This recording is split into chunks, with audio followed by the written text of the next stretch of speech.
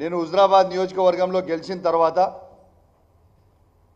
ఈ ప్రభుత్వానికి ఈ ప్రభుత్వం హరాచకాలకు రేవంత్ రెడ్డి గారు మరియు పొన్న ప్రభాకర్ గారు ఇద్దరు కలిసి నా నియోజకవర్గంలో కళ్యాణ్ లక్ష్మి చెక్కులు పంచనివ్వకపోతే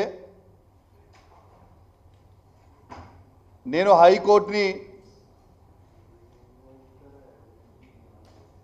అప్రోచ్ అయితే హైకోర్టు నిన్న రెండు రోజులు ఆర్గ్యుమెంట్ తర్వాత నిన్న ఆర్డర్ పాస్ చేయడం జరిగింది. ఇలా క్లియర్గా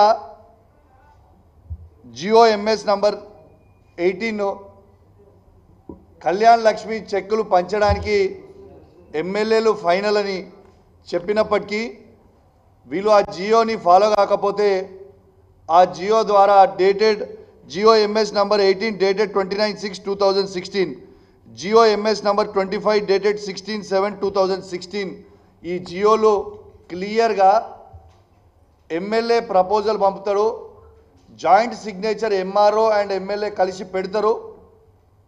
పెట్టిన తర్వాత ప్రపోజల్ పంపిన తర్వాత అది శాంక్షన్ అయి వచ్చిన తర్వాత చెక్స్ని స్థానికంగా ఉన్న శాసనసభ్యుడు పంచాలని క్లియర్గా ఆ జియోలో ఉన్నప్పటికీ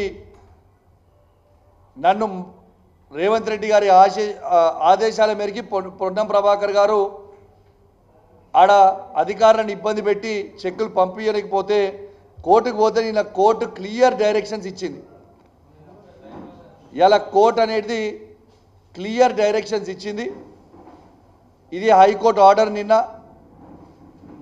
MLA is final. జియోని ఖచ్చితంగా అధికారులు ఫాలో కావాలి.